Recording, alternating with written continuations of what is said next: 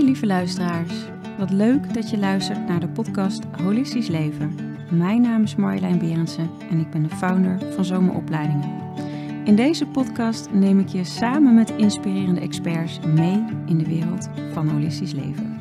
Het was niet alleen maar om dood te gaan. Het was ook, ik voelde ook hoe het soort van was om dood te zijn. Dus het werd alleen maar, en mijn verlangen naar de dood werd ook deels groter. En mijn, uh, Albert Camus zegt het heel mooi, omgaan met de dood, daarna is alles mogelijk. En ja. ik had wel zoiets, ja nou, de dood en ik zijn volgens mij best wel vriendjes geworden. Ja. Hoi, lieve kijkers en luisteraars. Welkom bij weer een nieuwe podcast van Holistisch Leven.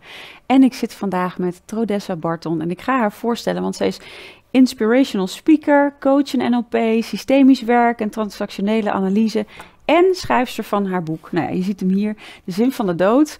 Um, ik vond het echt een super interessant boek. Ik heb hem echt uh, nou, met heel veel liefde gelezen. Um, nou, jij schrijft ook wel hier een, een, spiegel voor de onzin van het leven. En jouw missie is mensen bewust te maken van de kracht van je eigen sterfelijkheid. Zodat je met dat gevoel de roep van je hart durft te volgen.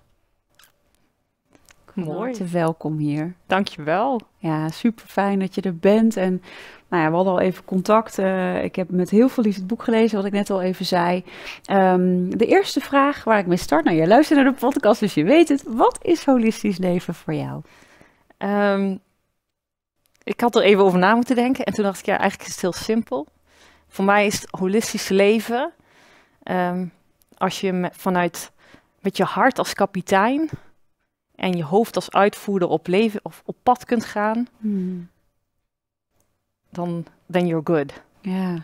Dus je hart als kapitein en hoofd als uitvoerder. Mooi. Ja. Mooi. Nou, dat, uh, maar dat is niet altijd zo geweest natuurlijk. Nu inmiddels wel, hè, kan je zo zeggen. Maar je hebt heel wat hobbels genomen, uh, ook genomen, ja, gehad in je leven, maar ook genomen waar je nu staat, waar je nu staat, zeg maar. Waar je ook een prachtig boek over hebt geschreven. Wil je ons meenemen in de reis? Want niet iedereen kent jou, denk ik. Nee. Uh, hoe, nou, waar, uit wat voor gezin kom je? En, um, ik heb denk ik geen makkelijk leven gehad. Um, ik ben wel in Nederland geboren, maar ik ben in Israël uh, in een kibbutz opgegroeid. Ja, tot, uh, tot je achtste leven. Ja, hè? ja, tot met mijn achtste, ja. inderdaad. Um, dus dat is natuurlijk een heel unieke plek om te wonen. Echt, ik vind het bovenal een kinderparadijs. Ja. Iedereen is gelijk, geld speelt geen rol. Uh, je leeft eigenlijk heel duurzaam, je leeft van je eigen land. Um, ja, en toen ik acht, toen op bijna negen was, uh, zijn we naar Nederland verhuisd. En uh, daar begonnen een beetje de strubbelingen in die zin. Want mijn vader kon heel moeilijk een baan vinden in Nederland. Mijn vader is Nederlands. Ja. Um, dus wij hebben acht jaar in de bijstand gezeten. Ja. En dat vond ik als kind heel heftig, omdat ik in een land woonde, in een plek woonde waar geld geen rol speelde. Ja. Helemaal niet, gewoon, niet. nee. niet. Um, kleding kreeg je gewoon tweede Dat was gewoon, Ja. dat speelde gewoon geen rol gewoon in mijn systeem. leven. Nee, precies. Ja, En nu dus ineens wel. en nu ineens zag ik de zorgen van mijn ouders en uh, mijn vader was hoog opgeleid. En dat, uh, ja, dus ik zag zijn worstelingen daarmee. ja. En uh, al vrij snel in mijn puberteit, toen is mijn moeder heel erg ziek geworden. Met, uh, 16 was je volgens mij. ja, toen de eerste... Diagnose van dementie, hè? Ja, die kwam iets later, maar de eerste was al wel al heel Ja, duidelijk Ja. dat er iets niet goed was. Hmm. Dus mijn moeder heeft, uh, is, heeft Alzheimer gehad op een hele jonge leeftijd. Ja, Dus ze was in de 40 toen ze het. uh, ja, de, de diagnose uiteindelijk kreeg. Dus ik heb eigenlijk uh, na mijn studententijd heb ik fulltime twee jaar lang voor mijn moeder gezorgd. Hmm. Wat echt wel heftig was, want als 22-jarige, terwijl al je vrienden allemaal op vakantie Ja. gaan en carrière maken, was ik letterlijk luiers aan het verschonen, Ja, diarree aan het opruimen, ja, eh, mijn moeder eten aan het geven. Ja, en ergens voelde ik ook, ja, dat hoort niet. hoort niet. Dit is niet... eh, Nee, dit hoort gewoon niet. Ik ben het kind en zij is de moeder. Ja. Ik heb het met heel veel liefde gedaan. En Ja. ik heb zoveel respect voor iedere mantelzorger. Want Hmm. jee, wat is dat ongelooflijk zwaar. Hè? Ja, dat is heel zwaar. Ehm, en ik kon niet, ik kon eigenlijk niet echt afscheid nemen van mijn moeder. Ze was er wel, maar ze was er niet. Ja, Dus ik heb nooit dingen tegen haar kunnen zeggen die ik wilde zeggen. Dat heb ik wel gedaan, maar ja, dat, ja, dat, ja, dat, in Ja, hoeverre dat, dat kwam, aan. was Ja. geen gesprek meer of zo. En daarna ben ik heel hard carrière gaan maken in de corporate wereld. Ja. Eh, dat wilde ik ook echt heel Heel graag. Hotelsvol dus gedaan? Ja, nou dat had ik daarvoor gedaan. ja, daarvoor. ik Ja, voor mijn ja, moeder zorg. Ja, ja. En toen mijn moeder overleed, was ik 24. Eh, die was echt tien jaar lang een beetje Ja. ziek geweest. Mhm. En toen eh, ben ik heel hard gaan werken. ja. eh, om geen pijn te voelen. Ja. Om eigenlijk niet te komen waar ik... geen, gewoon geen verdriet, geen pijn. Gewoon Doorgaan. door gaan knallen. Ehm, ja, en ergens voelde ik ook, wat ben ik aan het doen? Eh, ondertussen was ik moeder geworden en op mijn 36e kreeg ik zelf een diagnose borstkanker. Ja. Een hele agressieve vorm, Vorm ook, hè? Ja. waarbij ik werkelijk alle behandelingen die er bestaan voor borstkanker anderhalf jaar lang ehm, moest ondergaan. Ja. En eh, dat was voor mij echt een eh, soort van wake-up call. Ja. Van man, ik kan dus gewoon doodgaan. Ja. Ik had twee hele jonge kinderen. En ik denk, wat ben ik met mijn leven aan het doen? Ja. Ja. Ik ben alleen aan het werk. Ja. En eh, de chemo's, die vielen bij mij heel zwaar. Dus ik voelde me ongelooflijk eenzaam in de chemo's. Hmm. Maar die eenzaamheid heeft me ook zoveel gebracht. Ja. Hoe heftig dat ook was. Ik, ik heb me echt heel erg teruggetrokken van de wereld. Ja.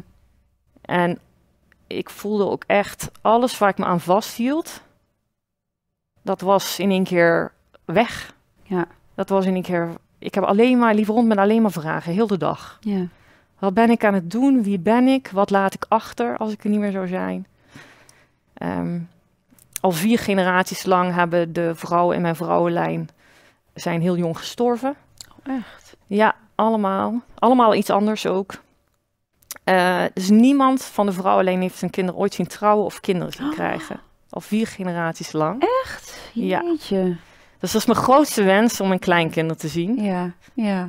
En, eh, want ik weet oprecht niet of dat kan. Nee. nee. Ehm, dus ik dacht, je bent nu wel kankervrij, toch? ja, maar goed, Remise, remise Ja. remise noemen ze dat toch? Ja. you never know. Je wil Ja. niet weten hoeveel mensen ik geïnterviewd heb Ja, ik, die, eh, ik las het, ja. die eh, uiteindelijk binnen zoveel jaar het wel weer terugkrijgen. Ja, ja. er is nog niemand eh, volgens mij eh de honderd daarna mee geworden, maar Nee. het eh, het is oké. Ja. Maar ik leef heel bewust van, ik kan dus doodgaan. ja. En dat heb je daarna nog een keer ervaren. Ja, dus eh, anderhalf jaar aan behandelingen. En net toen ik daarvan hersteld was, toen kreeg ik acht maanden later, ging ik op vakantie naar Kaapverdië. Ja. En toen eh, vier dagen tijdens de vakantie ontzettende hoofdpijn. En eh, toen bleek ik dus een hersenvliesontsteking te hebben. Eh, en belandde ik dus in een coma. Ja. En in Afrika.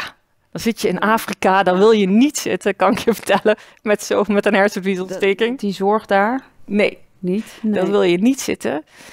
En gelukkig heeft een van de artsen na zeven dagen tegen mijn broer gezegd, ik, wij waren ook op vakantie met mijn broer, Ja. eh, je moet haar nu weghalen, want ze gaat hier sterven. En eh, toen heeft mijn broer een ambulancevlucht naar Gran Canaria geregeld. Ja. Ehm, waar eh, Nederland zou ik niet redden. En toen ik daar kwam, zei ze, we moeten nu opereren, want anders gaat ze vannacht dood. Bel de familie maar op om afscheid te komen nemen.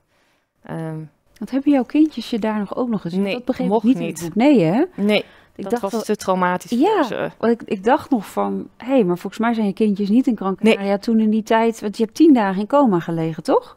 Ja, Eh, ja. Ja, hè? Het een beetje, de, een beetje, mijn broer zegt dat het iets langer is, omdat ik daarvoor wel leefde ik tussen, was ik half erbij, half Oh er ja. niet. Ja, ja, dat was Maar eh, ja, ik heb echt vijf weken, vier weken op de IC, vijf weken in het ziekenhuis. En mijn kinderen, ja, je zit vol met buizen.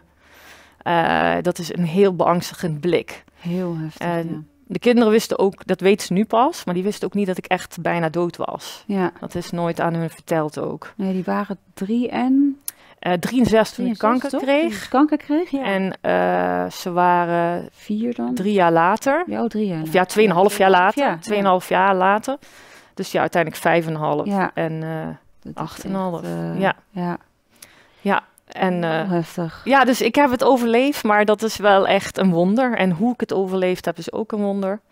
Maar ik was mentaal en fysiek er heel slecht aan toe na de hersenvliesontsteking. Ja. De kanker was er in die zin niks bij. Nee, vergeleken met de hersenvlies. Nee. Zo las ik het ook in je, in je boek hoor. Ik, ik, ik, ik- het is echt je leest het echt zo wat in één ruk uit. Want je wil meer weten. Hè? Want eerst heb je jouw verhaal en dan krijg je natuurlijk ook nog de ervaringen van, van, van de mensen die je hebt gesproken. Om, om nou, eigenlijk ook te ontdekken van ja, wat is dan die zin van die dood? En wat doe je dan als je nog maar drie jaar te le leven hebt? Je hebt zo'n mooie boekenlegger er ook in. Ja. ja, dat zet gewoon echt aan het denken. En um, even, even terug naar die, die hersenvliesontsteking, wat ik ook um, nou, heel heftig vond om, om te lezen, is dat je dus ook eigenlijk daar wel in, in een soort van ja, bijna doodervaring en, en ook een fase hebt geleefd, wat heel, wat Ja. heel heftig was, hè?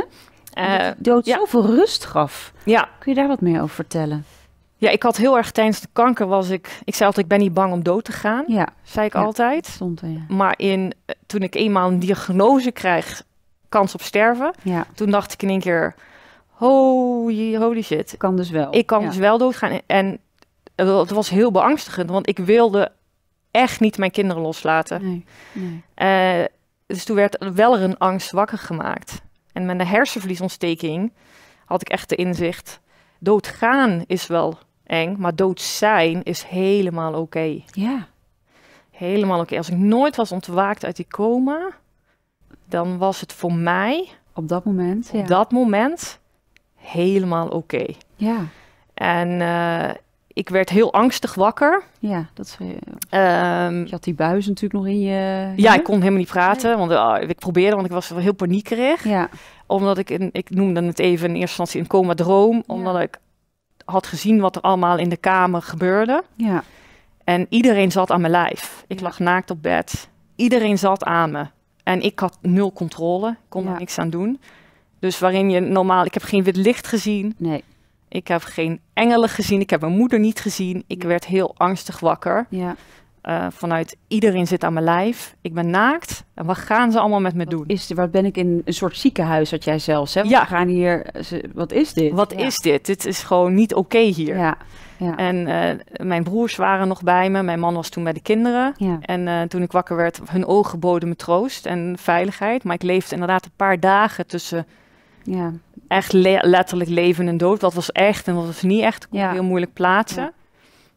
En toen we eenmaal thuis kwamen, ik kon niet meer lopen. Ik had echt zo... eh, ik woog echt niks meer. Het was weer kaal, want ze hadden weer mijn haar Ik, ik dacht, eh je kaal je geschoren. Prachtige krullen. Ja, Ja. dat ook wat. Dat deed echt heel, veel met me. ja. Ik heb een heel groot gat ook in mijn, eh, in mijn hoofd van een hersenoperatie.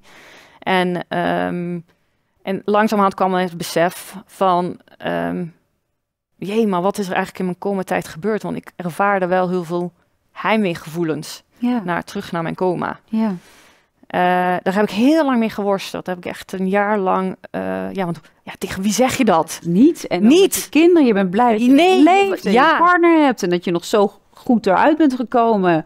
Ja, en ik was voor mijn boek inmiddels dus mensen gaan interviewen... Ja. tussen 30 en 55 met name... die dus sterfele, stervende waren. Ja.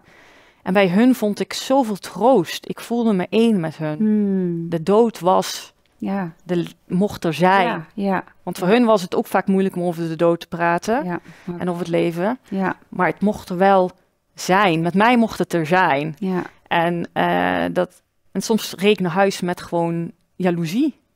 Ja. Dat is echt heel heftig om te zeggen. ja. Zij mogen doodgaan en ik moet er nog zijn. Zo.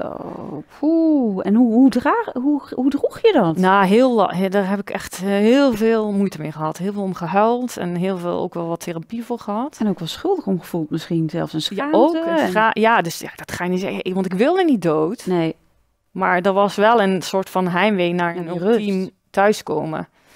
Eh, en ik heb een jaar, bijna letterlijk op de dag dat ik ontwaakt was van mijn coma, heb ik Mhm. Pim van Lommel ontmoet. Hmm, ja. En eh, Voor mensen even is, eh, nou ja, neuroloog die zich in de ehm, BDE, de ja, bijna doodervaringen heeft gespecialiseerd. Hè? Dus Ja. die is daar helemaal in thuis. Ja, toen heb je hem ontmoet. ja, en dat is grappig, want mijn broer zei tegen mij toen ik ontwaakt was coma, jij moet naar Pim van Lommel toe. En eh, letterlijk op de dag na datum bij toeval Zo, heb ik hem achter. Ja. ontmoet. Toeval, ja, als het toeval is. Ja, En dat is voor mij heel helend geweest. Want ik heb mijn verhaal met hem mogen delen. En hij zei gewoon tegen mij, maar meisje, je hebt een bijna doodervaring gehad. ja, En dat was voor mij, oké, ik ben niet gek. Hij zei dat heimwee gevoelens, je hebt gewoon een buiten een, je oude body experience, je hebt gewoon gezien wat er in de kamer gebeurde. En, eh, maar dat, dat intrinsieke heimweegevoel, dat is zo typerend, zonder dat er beelden aan zijn bij horen. Ja. En mijn vader had het ook gedroomd. Mijn vader heeft twee weken voordat ik Voordat je Eh, hersenvliesontsteking kreeg, had hij gedroomd dat ik was overleden en bij mijn moeder was geweest. En eh, ja, dat is dus heel bijzonder dat hij dat gewoon gedroomd heeft. Dus ik denk ergens, misschien heb ik mijn moeder wel gezien en is daar een soort van. Ik denk als ik het had kon, kon herinneren dat mijn leven op aarde ondraaglijk was geweest. Ja. Ik Ja. denk dat ik het niet had kunnen dragen meer. Terwijl je heel mooi omschreef dat het moment dat zij, hè, dus even spoelen even de film weer, weer terug, dat toen zij doodging, dat het moment dat zij haar met haar ziel haar lichaam eh, eh, verliet, dat jij op dat moment echt contact met haar had. Misschien nog Ja. wel dieper, Ja, waar leven en dood elkaar verbond. Dat vond ik, ik heb hem als een hoekje zo omgevouwen in het boek. Dat raakte me zo erg. Kun je daar wat op? Want daar voelde je haar heel duidelijk, hè? ja, dat is een van de intiemste momenten in mijn leven precies. geweest. Zo omschreef je het ook, ja. is, eh, ik was toen mijn moeder net, wat wij vaak mensen doen als iemand sterft, dus dan roepen we meteen de verpleging erbij. Ja, Maar Ja. eigenlijk is dat de moment waar je dat even niet moet doen. ja, Is even in dat moment van ultieme stilte. Het voelt voor mij dan echt alsof de dood en het leven naast elkaar staan. En het leven echt tegen de dood zegt, je neem die persoon maar mee. ja, het is goed. Ja. Het is goed. Het is zo'n.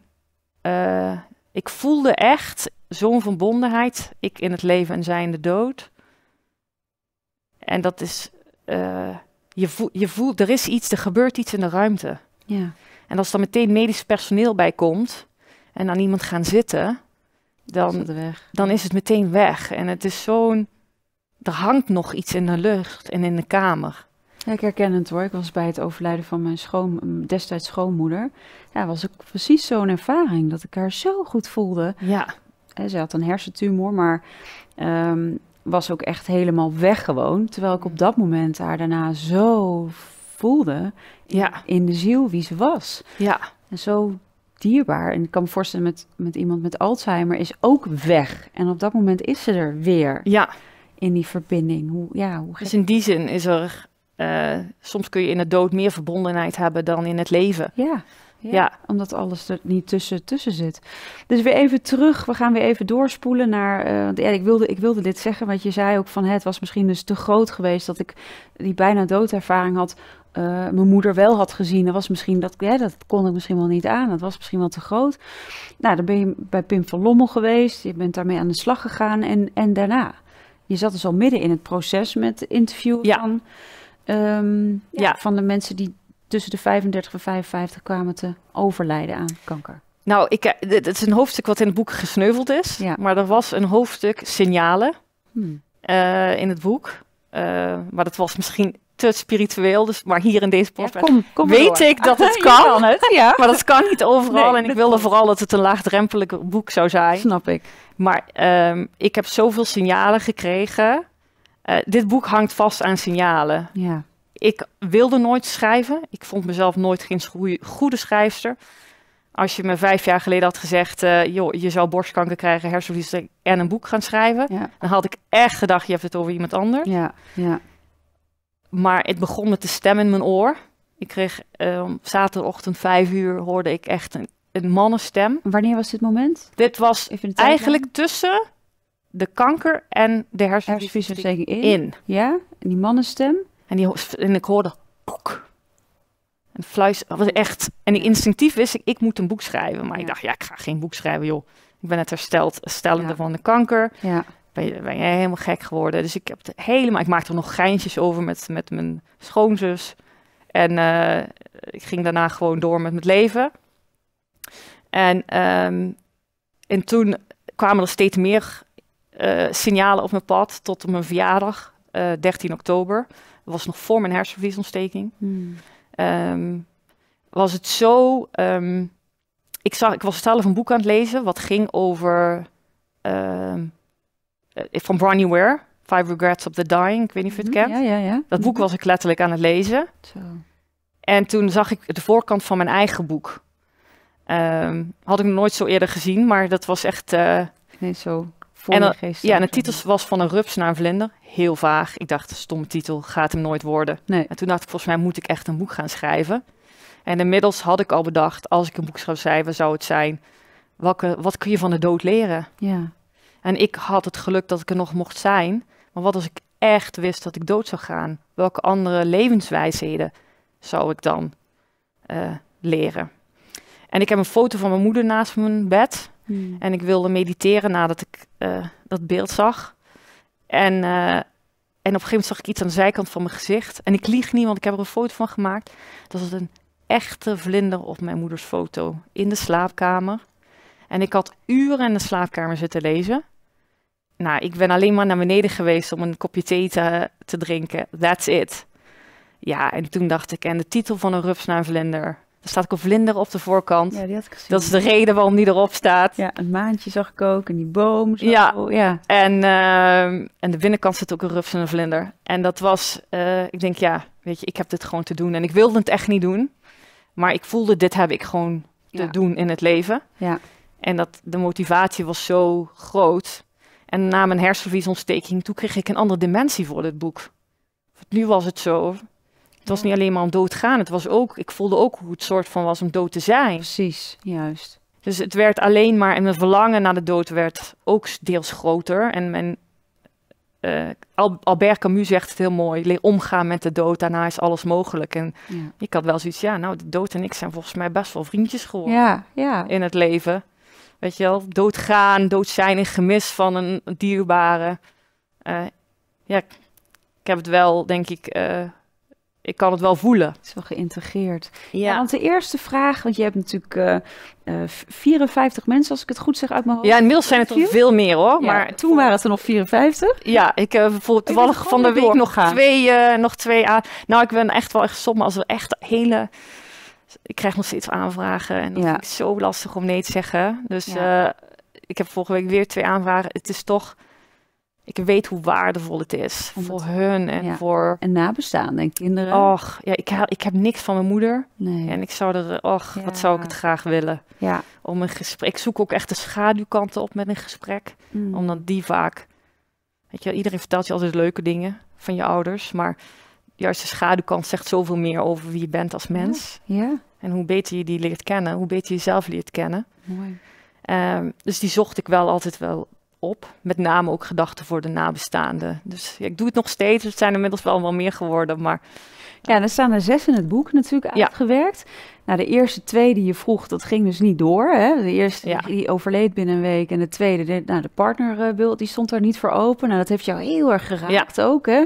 Mooi, mooi ook hoe je dat omschrijft. Wat was de eerste vraag die je steeds aan iedereen stelt? welke levenslessen wil je met de wereld delen? Ja.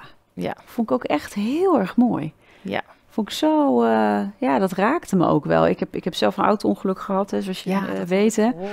Ja, dat was natuurlijk hè, mijn, mijn eh, re, re, eh, inca- re-integratietherapeut, sorry, mijn re-integratiecoach of eh, iemand, nee, re, revalidatiearts. God jongens, hou op schrijven. revalidatiearts, die in het ziekenhuis, eh, die zei echt van, nou, wat zou er op je grafsteen staan? Ook een beetje soortgelijk, hè, als je nog drie jaar te leven hebt, wat, hè, wat ga je dan nog daadwerkelijk doen? Maar voor mij was het ook echt zo'n eye-opener van verrek, heb ik nou het leven eigenlijk geleid wat ik wilde leiden? Of heb ik vooral het leven geleefd wat anderen van mij verwachten? En picture perfect, maar deep down voelen, ja, maar dit is niet mijn zielsmissie. Ja, En als ik ook naar jou kijk en dat wat je hebt meegemaakt en wat verschrikkelijk heftig is, ja, zit daar ook iets in dat jij als een soort lichtwerker in het donker, of donkerwerker had ik het eh, eh, met, eh, met Maarten Overzier over.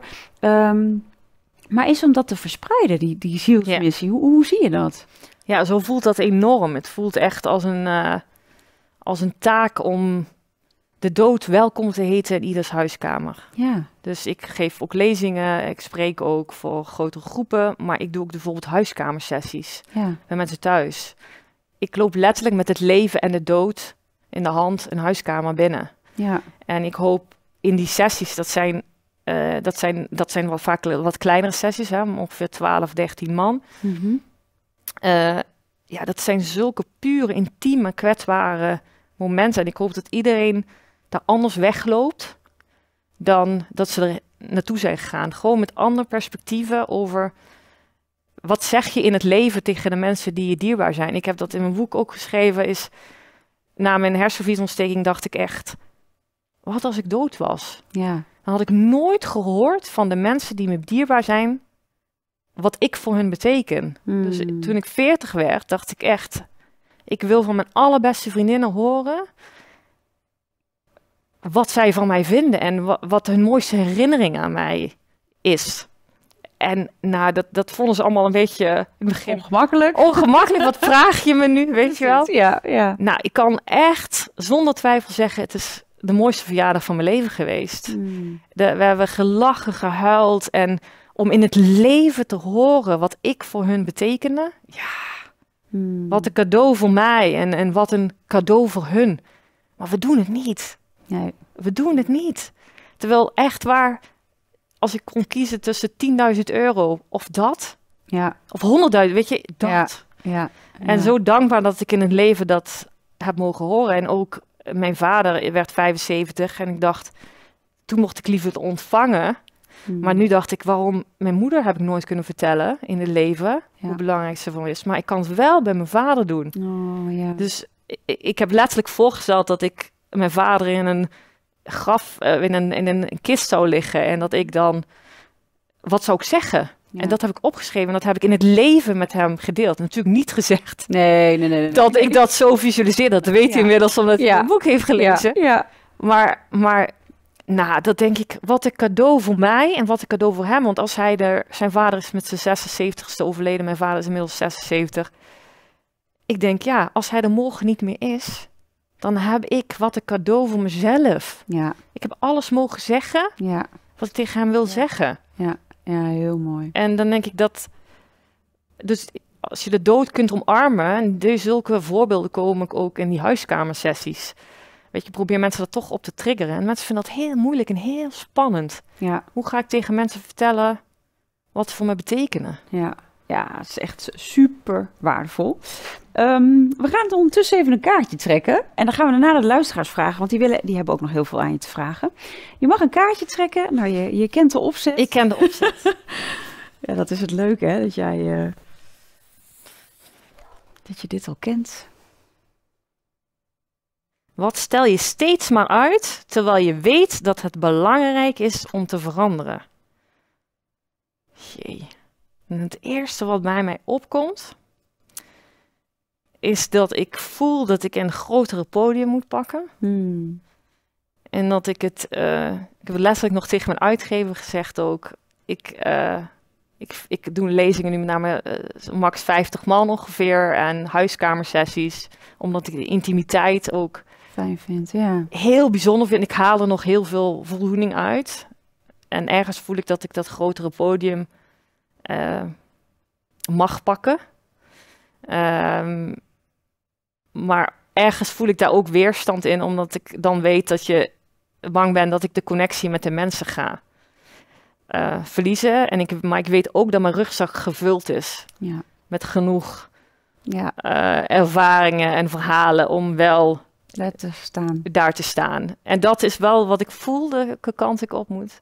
Nou, Maar eh, je heb je net ook even gekregen doordat je hem zelf hebt uitgekozen. Een signaal, signaal wat ook Ja. je, je, Ja. je, hoofdstuk had gemogen. ja, en dat stel ik wel aan, want ik ben bezig met een tweede boek. Oh, wat goed. En eh, heel anders, maar wel... eh, Waar gaat het over? Wil je iets vertellen al? ja, het is heel veel. want Ik heb nog niet officieel eh, het contract getekend, maar Mhm. ehm, het is een simpelere versie van dit boek. Mhm. Ehm, alle wijsheden zitten erin, maar op een veel laagdrempelige. Veel mensen vinden toch een titel met de zin van de dood, terwijl het echt voor mij de juiste titel is. Ja. Eh vinden het toch wel beangstigend, terwijl het heel luchtig is geschreven. ja, ja, ik vind het heel toegankelijk. Ja, juist. Eh, en ik wil toch dan, hoe kan ik op de lessen die erin staan, wel op een andere manier Hier, eh, bij de mensen terecht Ja. komen die het toch misschien wel kunnen gebruiken. mooi. Wat is de belangrijkste les die je uit het boek zou meegeven aan mensen? is eh, hoe cliché het ook is. Want ik heb inderdaad veel mensen mogen interviewen eh, die allemaal ergens in- indirect toch ergens spijt van hebben. Ja. En ik geloof wel echt als je al vroeg in je leven de roep van je hart durft te volgen en leert volgen, hoe cliché het ook is. Echt, kan bijna kotsen als ik het zeg, bij Ja. wijze van. Ja. En toch is het echt zo. Het is echt zo. Als je dat kan voelen, je kapitein, je hart is je kapitein en je hoofd is je uitvoerder. Je hebt ze allebei nodig. Ja. Maar ik geloof echt dat je dan zult ster- sterven zonder spijt. ja, echt je hart volgen. Echt, ja, wat echt. En het, het is zo ongelooflijk lastig en moeilijk. En, eh, en ik worstel nog iedere dag mee, weet je. Eh, het is ieder, ik heb onlangs medische keuzes moeten maken die echt ehm, heel complex waren. Eh, en mijn hoofd zegt één ding rationeel, zou ik één keuze, maar mijn hart zei dat ik een andere keuze moest maken. Hmm. Ja, en toch heb ik voor mijn hart gekozen, ondanks dat mijn oncoloog het allemaal, ieder, alle medische mensen vinden het geen goed idee. Wil je daar wat over delen? Hoeft niet. Eh, nee, liever niet. Dat is goed. Ja. Ja. Nee, maar gewoon, er komt... eh, Precies, je hebt geluisterd naar je hart. ik dat heb mijn hart essentie. en dat is met, in heel het medisch traject heb ik dat meerdere keren moeten doen. Ja. En dat zijn, eh, En dat heb je wel altijd gevolgd. En Ja. dus kijken waar je nu zit. ja, en, en ik weet het niet. Ik heb een keuze gemaakt die misschien, eh, waardoor de kanker eerder terug kan komen. Ehm, maar ja, Dit is voor jou de keuze. dit is voor hart. mij Ja, de keuze. mooi, Ja. dapper. Ja. Heel dapper. Dankjewel voor het beantwoorden. We hebben heel wat eh, luisteraarsvragen, dus daar ga ik eh, nu met, eh, met mijn aandacht heen. Ehm, even kijken. Je hebt het over de kleine dingen van het leven. Hoe helpt dat bij grote beslissingen? Ja, ik heb het in mijn boek over de grootheid van het leven zit in de kleinheid van de dag. En Ja. Het was me zo. dat bleef bij ieder gesprek wel terugkomen. Er was een man, vond ik zo'n mooi voorbeeld, die, eh, eh, die was stervend en hij maakte veel muziek. En ik heb echt met hem zijn muziek geluisterd. En, maar hij zei, vanochtend wandelde ik met de hond en ik, en ik zag de blaadjes en ik voelde de blaadjes. Weet je wel, en hoe die dat zei, weet je wel, dat dacht ik, jee ja. Of een, of een vrouw die vertelde hoe ze de cappuccino's dronk. Weet je, dat ik dacht van, ja, maar dat, daar, daar zit het hem in. In die, in die Ja. kleinheid zit de grootheid van het leven. En ja, soms moet, maar moeten we hè, grote beslissingen, kijk maar als het, als het gaat over een relatie of een verhuizing of het stoppen met een baan of wat dan ook. Hè.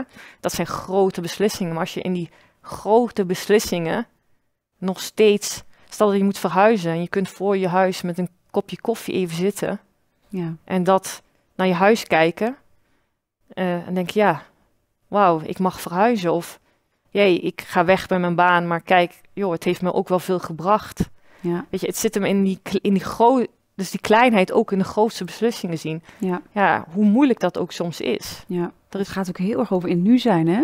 Ja, ik zeker. jou zo hoor praten over of je nou je cappuccino drinkt of die blaadje van de boom. Het kan alleen maar als je niet bezig bent met je verleden of je toekomst, maar zo in het moment bent. En dat lukt niet altijd Nee, natuurlijk, hè? niet. Nee. Want, want in het stervensstuk, hè, want dat, dat wil ik wel echt eh, niet overbrengen. Mensen die ongeneeslijk ziek zijn, alle eh, onbezonnenheid van het leven verdwijnt als je een diagnose, Ja. Ja. jij gaat sterven krijgt. Dat is gewoon weg. Terwijl ze wel, eh, de meesten wel kunnen benoemen wat het ze ook brengt. Aan Ja. eh, intimiteit, aan... nogmaals, ik moet wel ook statement even bij zeggen. Ik heb alleen maar mensen gesproken die hierover wilden praten. ja, precies. Niet de mensen die niet aan toe Nee. waren, die niet konden Nee, overgeven. Die heb ik natuurlijk niet gesproken. Nee. Weet je, mensen die, die ik heb gesproken hebben hier wel een bepaalde mate van acceptatie in. Want anders Ja. wilden ze helemaal niet met mij Dan gaat spreken. het niet. Nee. Dus daar moet ik wel even een kanttekening bij Dat is een goede kanttekening. Belang- Belangrijk ook. Ja. ja. ja. Maar, eh, maar de onbezonnenheid is gewoon weg. Maar, en toch hebben ze ook iets. eh, Afke zegt het zo mooi in mijn boek van... Het, wel, ik voelde me ook thuiskomen. ja. Weet je, en dat is... ehm, ja, dat ervaarde ik bij meerdere mensen ook een bepaalde ehm, dankbaarheid. Hmm. Ja, dat ze nu wel in het moment mochten leven. Maar er zitten ook heel veel angst en zorgen. Ja. En heel veel verdriet. Wat natuurlijk logisch is. Ja, wie je achterlaat, wat je nog wil doen of ha- had willen doen. Wat ik ook zo mooi vond in je boek, even ga ik zo door hoor. Ja, mensen, ik stel jullie vragen nog wel. maar wat ik heel mooi vond in het boek is dat, eh, ja, wat als je nog maar één dag te leven hebt. En dan inderdaad dat je zo schreef van, ja, dan komen die bungee jump en de bucketlist. Maar het is eigenlijk van, hé, hey, stop. Het zijn vaak die dagelijkse dingen, hè, wat je beschreef, wat mensen juist eh, zo gaan waarderen. En het niet zit in juist maar weggaan of, hè, maar... Nee, ik, had, ik denk echt dat ik misschien één of twee mensen heb gesproken die zeiden, het begon over een bucketlist. Ja. Niemand had Verder over. niemand, hè? De ene vrouw zei, ik heb geen bucketlist, ik heb een fucketlist. Ja, ja precies. Die Ja, bucketlist. en toen dacht ik, ja. ja. Want ze zei, ik ga helemaal niks meer doen. Ja, ja, precies. Stop. Ja, en. Dat, eh, dus dat vond ik, eh, ja, dus het zit hem echt in de kleinheid. Ja, ja, ik vond het echt mooi. Ja. Eh, Ik denk dat moet even... Even kijken, hier heb ik er eentje concreet.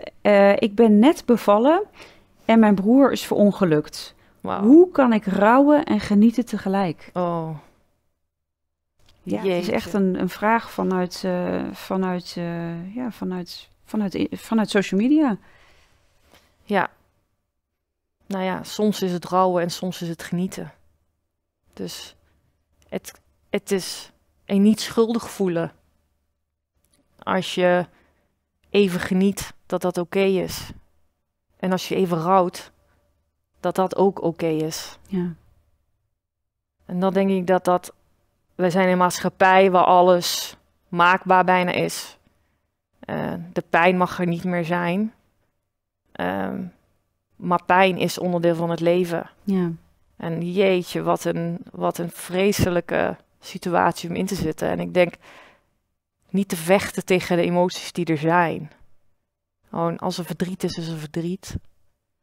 En gewoon laten zijn. En als er vreugde is, die ook te laten zijn. Want de verdriet komt daarna vanzelf. ja. Na de vreugde komt er ook weer, na verdriet komt er ook weer een keer vreugde. En dat kan misschien honderd keer op een dag variëren en veranderen. Het is allemaal gewoon oké. Ja, mooi. Ehm, even kijken. Eh, je vertelt over uitspreken naar je geliefde, maar ik vind het heel moeilijk. En mijn partner kan me hierin niet altijd volgen. Wat nu? Ja, die, daar krijg ik dus Ja? in huiskamersessies Ja? inderdaad ook veel. Ja. Ja. mensen vinden dat heel lastig om uit te spreken wat ze van de ander vinden. Ehm, soms zeg ik, soms hoef je het niet uit te spreken, soms mag je het gewoon opschrijven in een brief. Als jouw behoefte is, ik denk dat het zo waardevol is om het wel te doen, ongeacht hoe iemand het tot zich neemt. Hmm, Ehm, je kunt het gewoon opschrijven voor iemand. Jij hebt het in ieder geval gezegd. hmm, En jij hebt het gezegd of opgeschreven voor de ander. En het is, jij hebt geen invloed hoe de ander het ontvangt. Nee. Eh, maar als jij. Voor mij zou het alleen al een ontlading zijn. Ik heb gezegd wat ik wilde zeggen. Ja, En, Ja. en het resultaat gaat dan niet... eh, nee, het gaat niet om wat, wat er bij de ander dan gebeurt. Het zou mooi zijn. Het is heel fijn en Ja. het is heel mooi. Ja. Ja. En al is het. ehm, ja, en daar gewoon wel openlijk over communiceren. Zonder er iets bij de ander te forceren, natuurlijk. Maar sommige mensen vinden dat inderdaad. Dan wordt, komt het te dichtbij. En ja, dat is ook spannend en eng. En intimiteit en kwetsbaarheid is natuurlijk ook spannend en eng. Ja. Ehm, heb je een tip om dicht bij jezelf te blijven bij het maken van keuzes? Ja, voor mij is het gewoon echt leren. De, wat is de stem van je hart? Hmm. die te kunnen. En dat is moeilijk, hè? Dat heeft mij ook jaren geduurd. En eh, meditatie is mijn grootste Ja. eh, Vriend? vriend daarin. En eh, is voelen wat zegt je hart en wat zegt je hoofd. Continu. En als je dat, dat is, want in het begin voel je denk ik het verschil niet eens.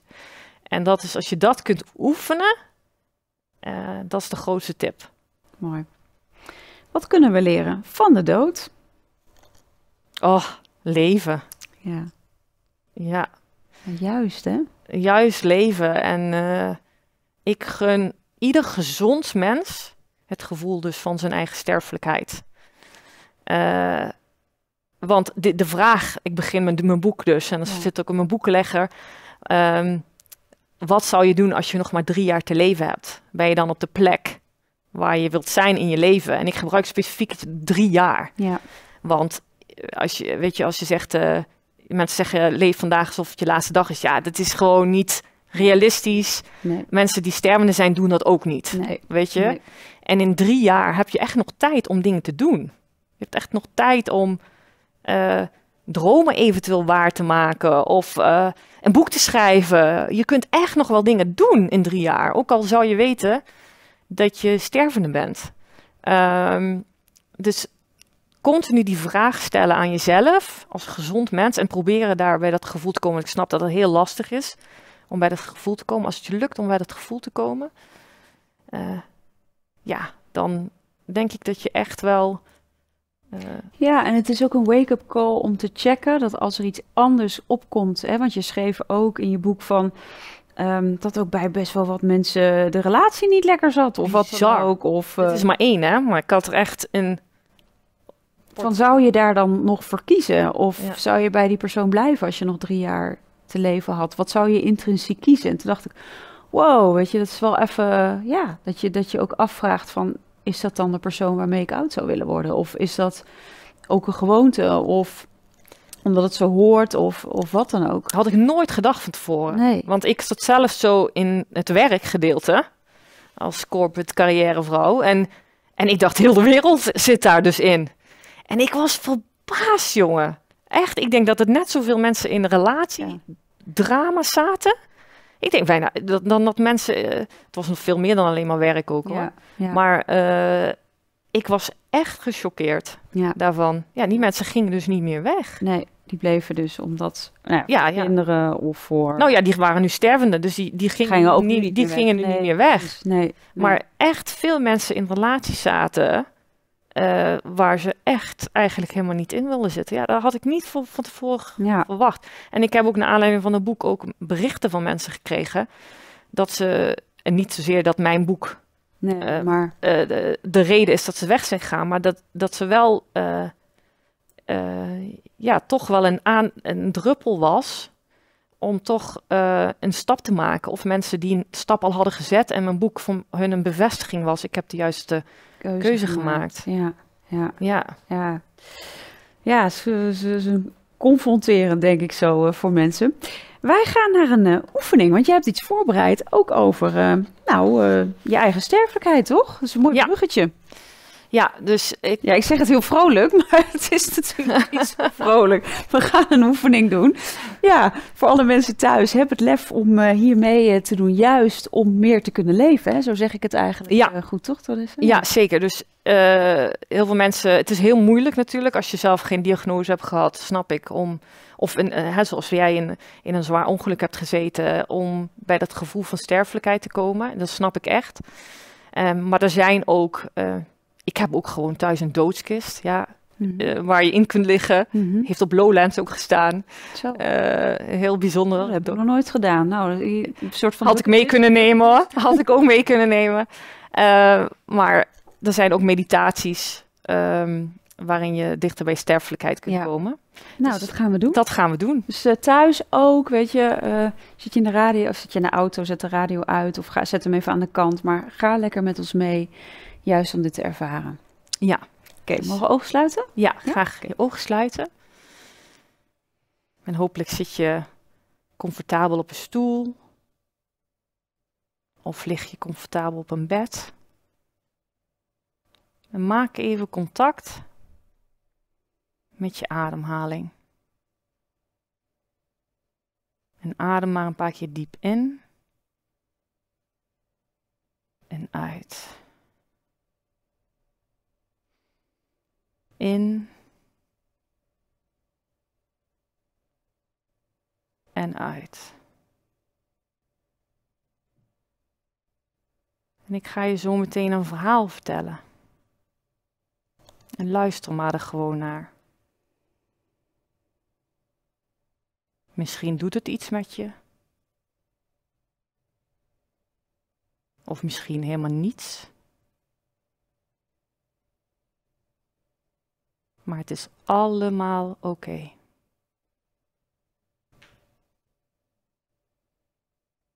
Je voelt je namelijk al een tijdje niet zo lekker. Je bent zo ontzettend moe. Je wil het liefst heel de dag slapen. Om die reden heb je onlangs onderzoeken in het ziekenhuis laten doen. En vandaag is de dag dat je de uitslag krijgt. Onderweg naar het ziekenhuis zie je alle auto's, de gebouwen, de stoplichten. En als je het ziekenhuis aankomt, loop je naar binnen. Je ziet alle mensen voorbij lopen. En jij loopt naar de afdeling waar je moet zijn. Je gaat zitten op de stoel. En kijkt naar de mensen om je heen. Waarom zitten zij hier? Je pakt een tijdschrift om je gedachten te verzetten. Ergens voel je van binnen dat het niet helemaal goed is. Ineens hoor je je naam. Je staat op, loopt naar de arts. In zijn spreekkamer zijn de muren wit. Er hangt van alles op de muur. Je gaat zitten. En de arts kijkt je doordringend aan. We hebben de uitslag van al uw onderzoeken. Maar helaas heb ik slecht nieuws voor u.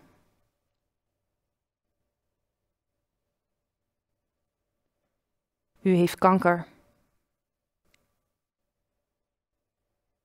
En het spijt me, want het is uitgezaaid in uw longen, in uw lever en in uw botten. We hebben met het medisch team uw situatie besproken. En er zijn altijd wel dingen die we kunnen doen. Maar als ik u was, zou ik nu naar huis gaan en de tijd spenderen met de mensen die je zo lief hebt. We zullen wel een vervolgafspraak maken. Maar ga vooral doen wat je wilt doen. Ik, kanker, denk je. Hoezo? Compleet in shock. Verbaasd. Hoezo? Uitzaaiingen overal.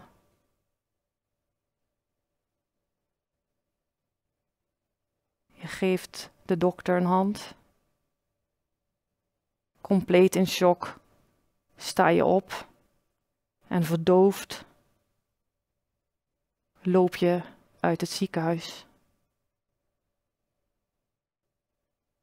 In de auto raast de wereld voorbij. Ik ga dood. Hoezo? Je komt thuis. Wie ga je als eerste bellen om dit nieuws te vertellen? Uitgezaaide kanker. Voor je het weet zit je huis vol met mensen. Iedereen zit in tranen. En jij denkt alleen maar, hoezo?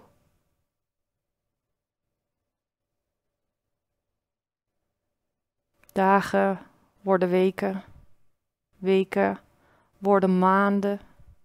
Je voelt je zo ongelooflijk moe. Je benen zijn moe. Je armen zijn moe.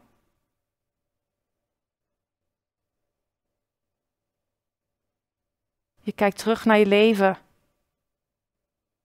Wat heb je allemaal gedaan in het leven? Wat had je allemaal nog willen doen? Maar wat kan nu niet meer?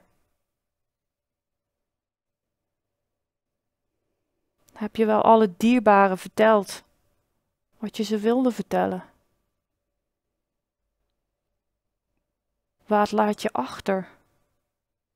En hoe moet je in godsnaam iedereen loslaten? Je huis, de mensen om je heen, je spullen. Zo moe. Lopen wordt lastiger.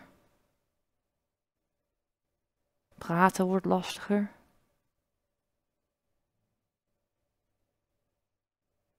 Je ligt in bed. Wie staat er naast je?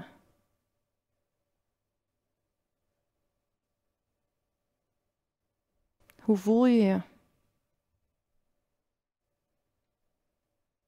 Wie wil je dat er naast je staat?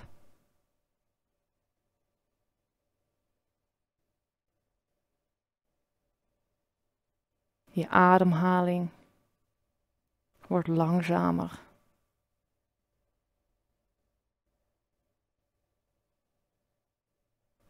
En vlakker.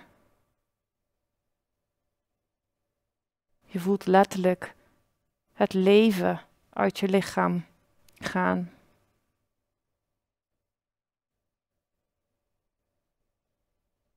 En met een laatste diepe zucht blaas je het leven uit je lichaam.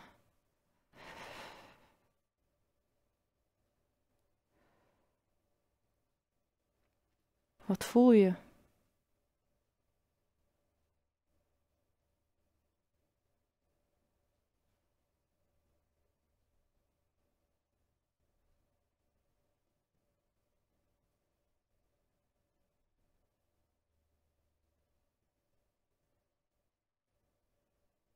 Gelukkig is dit maar een verhaal.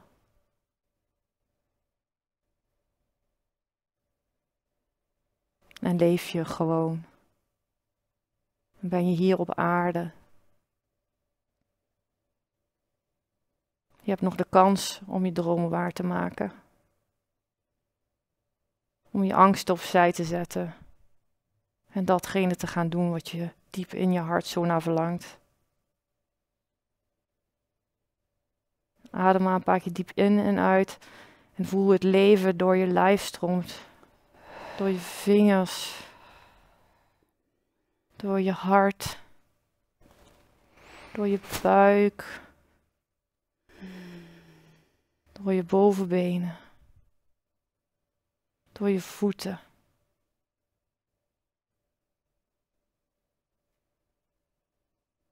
En als je klaar voor bent, dan mag je je ogen openen.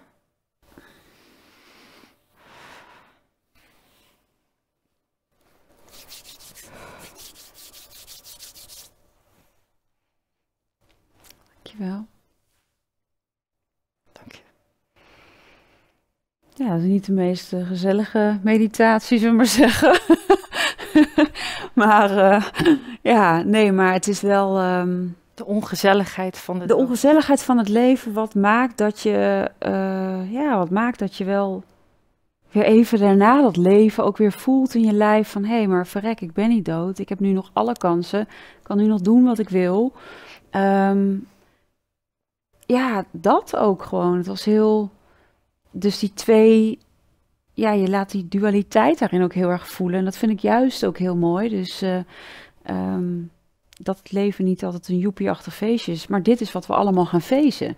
Dus je kan maar beter al dood zijn gegaan hier op aarde eerder. Ja. En daarna uh, de dood omarmen. Maar dat zeg ik natuurlijk even hè, vanuit ook, ook mijn. Uh, nou ja, mijn, mijn traumatische ervaring destijds natuurlijk. Maar, ja. um, maar het is wel zo. Weet je, weer even voelen ook. Daarna voelde ik ook het leven nog dieper stromen of zo. Of nog meer door mijn lijf uh, gieren.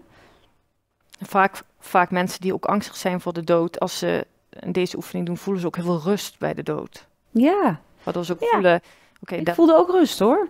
dat eh, de dood staat symbool voor, eh, voor rust, voor vaak. Ja, En er zijn heel veel mensen die ook onbewust een verlangen hebben naar de dood. Onbewust zeg ik, ja hè? onbewust, ja. Ja. ja. Waar het rustig is, waar, Ja. het, eh, waar we in die eenheidsbewustzijn weer terugkomen. En ja, ik vond het ook rustig hoor. Toen het eenmaal zo, weet je, ik bedoel, tuurlijk voelde ik ook wel angst opkomen, eerlijk is eerlijk. En dan vooral, eh, ja, mijn kleine, kleine smurf natuurlijk. eh, ja, kinderen, dat maakt het heel ja, ingewikkeld. ik bedoel, eh, de rest kom ik echt wel weer tegen. Maar ik, ik hoop toch echt zo lang mogelijk haar te kunnen begeleiden. Te kunnen genieten van wat ze doet. En precies wat jij natuurlijk zegt ook. ehm, nou ja, dat je, je, dat je nog oma mag worden van misschien kleinkinderen. Als dat, Ja. als dat de bedoeling mag zijn. Ja, dat, dat, dat, dat heb jij natuurlijk met die generaties die pijn vanuit epigenetica natuurlijk niet meegekregen. Dus ik, ik gun je ook ja, zo dat dat gaat gebeuren. Ik Maar hoop dat ik heel veel generational trauma heb, Ja, eh, heb opgeruimd. opgeruimd. Ja. Maar goed, you never know. Ja, maar dat, dat is ook waar dit over gaat. Ik voel wel dat dat, ja, dat, dat, dat is wel eh, dat ik eh gunde nog, ja, nog ook heel lang te kunnen zijn. Om van haar te genieten. Natuurlijk van iedereen hoor, ik bedoel, maar Ja, zeker. kind is natuurlijk ja, extra. ja, kind ja, is echt... is extra. dat voelde ik ook verschillen met de mensen die ik interviewde die geen kinderen hadden en wel kinderen Ja? hadden. Ja, dat voelde ik echt. Dat was, Waar zat eh, het verschil in? Voor ja. ik het ga invullen in mijn hoofd. Nou, gewoon mensen die kinderen hadden. Ik heb natuurlijk vrij jonge mensen geïnterviewd, dus die hadden ook Ja. met name jongere kinderen. Ja. ja, om hun niet te zien groot worden. Ja, dat, dat, dat was. eh, die ging, zij gingen ook door en door en door en Ja. door met behandelingen. Ja. En eh, wat ik helemaal begrijp. Ja, Terwijl je eigenlijk dacht, oh man, ja, je vecht maar door. echt. Ja. Ja, want je- Ja. voor je kinderen eigenlijk. Hè? Ja. En, ehm, en dat ik voelde bij mensen die geen kinderen hadden, dat was. Het voelde voor mij misschien ook omdat het mijn eigen overdracht was, omdat ik zelf kinderen heb. Ja. Dat kan ook. Voelde ik wel een, iets meer een berusting Ja. om het achter te laten. ja, terwijl je in wezen eigenlijk iedereen dat gunt, die berusting. Ja, zeker, Ja. zeker. Ik heb best Ja. kankerpatiënten mogen begeleiden toen ik nog zelf praktijk had. En ja, er was één vrouw die een ongelooflijk veel indruk op mij heeft gemaakt. Die, die kwam op het moment dat ze diagnose kreeg. En ze is anderhalf jaar elke week bij mij in de praktijk geweest. Maar zij ging dus wel dood. Had Ja. hele jonge kinderen. Hmm. Wilde echt niet dood. En nou ja, weet je, dus we hebben er natuurlijk allemaal dingen ook in, in, in geprobeerd. Dat ik nou ja, haar ook zo gunde dat de kinderen iets van een doosje of iets achterlieten. Nou, later was ze overleden en haar man die was zo boos op haar. Het was zo heftig en zo intens ook om dat te voelen. En ja, ook de kinderen zeg maar daarin. Hij was boos op haar omdat ze stierf, bedoel je? Of- Nee, omdat er niks was nagelaten. Oh, niks was- kinderen. Oh, ja. Dat hij zei, ja, ze stopten het weg. We hebben hele mooie sessies gehad ook. Uiteindelijk Ja. met de kinderen. Dus het was uiteindelijk wel een heel mooi proces. Vond echt heftig ook, eerlijk is eerlijk. Eh, ehm, maar dat ik gewoon voelde dat ergens in mijn hoofd had ik dat ook geromantiseerd. Maar zij wilde gewoon echt niet dood. En wat ik begrijp als je twee van die jonge eh, ja, kinderen Ja. heen hebt. En dat ze ook echt niet iets wilden eh, maken voor hun als ze 18 werden. Of zouden ze gaan trouwen. Of als een, een kleinkind zou geboren worden, wat dan ook. Maar het, ze kon het gewoon echt niet. Dus we hebben dat ook daar dus aandacht aan gegeven aan die schaduwkant. En uiteindelijk was dat dus ook voor, nou, voor, voor haar man, die dus alleen achterbleef met de kinderen en de kinderen ook, was dat heel mooi om die ervaringen te spreken. En dat wat jij hebt gezegd ook, hè, met je huiskamersessies en, en vergroepen wat je staat en, en wat je dan aangeeft van zeg de dingen in leven. Ja. Voor mij voelde het een taak alsof ik dat wat zij niet kon, dat ik dat mocht afmaken. Dus Ja, ik heb haar woorden, wat ze in die anderhalf jaar heeft overgebracht over de man en over de kinderen, kunnen, kunnen, kunnen delen, waardoor het soort van rond was of zo. Ja. En daarmee voelde het toch alsof het dan nog op het eind klopte. En dat, ja, dat vond ik zo intens. Heel bijzonder. En, Ja. en, en een cadeau van onschatbare waarde. Ja, Echt. En, en daar ook onderdeel van te mogen zijn en, en dat te mogen doen. En natuurlijk had ik het liever anders gehad dat het gelijk zo was. Maar dat ik in ieder geval toch al was zo'n klein stukje in ieder geval dat kon helpen afmaken. Dat ik denk, ja, poeh, nou, is niet niks. accepteren dat je doodgaat, Ja, dan biedt ruimte voor afscheid. ja, maar dat cognitief weten en het doen, er zit een Ja. gigantisch verschil. Ja, ja, ja, ja, ontzettend. Er zijn heel weinig mensen die iets achterlaten. Ja, Ja, en ik weet, ik heb vanuit zelf mijn eigen gemis, omdat ik ook niks had. ja, precies. Hè? Weet je als geen ander hoe dat hoe is? pijnlijk dat is. Dus daarom, ik, heb, ik kan echt voelen, weet je, ik heb een boek waarin mijn levensverhaal. Ja, Dit is uiteindelijk een versie, maar er zitten nog tig hoofdstukken Ja. hieraan vooraf die allemaal gesneuveld zijn, Ja. waar nog veel meer informatie in staat. Die heb ik allemaal voor mijn kinderen. precies. Ik ja. heb, eh, weet je, al deze podcasts dragen bij Ja, aan mijn stem en aan mijn lichaamstaal voor mijn kinderen. Ik heb mijn man al geïnterviewd. ja, Ik heb mijn vader geïnterviewd op beeld en op, eh, om gewoon als er iets is, dan hebben mijn kinderen, ik heb een afscheidsbrief al voor mijn kinderen geschreven. Mm. They're good. En ik hoop nog 50 afscheidsbrieven te mogen schrijven, ja. maar ik ja kan ik heb echt ook al wat geschreven. Ja. ja, ja, Denk ik van, het is echt zo, ik zou Ja. willen dat ik het had. ja. Snap ik. Heel Ja. goed van je moeder. Ja, ik bedoel, Ja. poeh. Was, eh, ja. We gaan naar het einde van, de, van alweer de podcast. Poeh, het was een, eh, een heftige, een mooie, een die me raakt, een die binnenkomt ook. Als we zo aan het einde van de podcast nog één tip mogen geven aan de luisteraars, wat zou je ze willen meegeven? Doe ik het tie- stiekem twee. Ja, mag, mag. Is eh, onderzoek welke relatie je hebt met de dood. Hmm. Ben je er bang voor? En wat maakt dat je er zo bang voor bent? Of heb je er misschien wel een verlangen naar? En wat, wat, welk verhaal zit daar dan achter? Hmm. En ik hoop dat mensen meer over de dood gaan praten. Echt ook met hun kinderen, eh, met vrienden, met familie. En eh, de dood klinkt als ongezellig en dat is het deels ook. Maar gesprekken over de dood bieden, biedt zoveel intimiteit en kwetsbaarheid, Diepgang. diepgang. En, eh, en dat is misschien juist wel gezellig, juist. Hmm. Dat is zo waardevol. En ontroerend ook. ja, het is echt in verbinding. Het is echt in verbinding. Eh, dus ik, dat, dat ga erover praten met elkaar. Eh, en als tweede tip is toch echt, eh, ik gun iedereen het gevoel van zijn eigen sterfelijkheid. Want iedereen kan er echt in één keer morgen, je had een auto, is ernstig auto-ongeluk. Het kan ons echt allemaal gebeuren. We zijn niet onsterfelijk, thank God niet. Ehm, en gebruik dat om de roep van je hart. Daar blijf ik ook bij.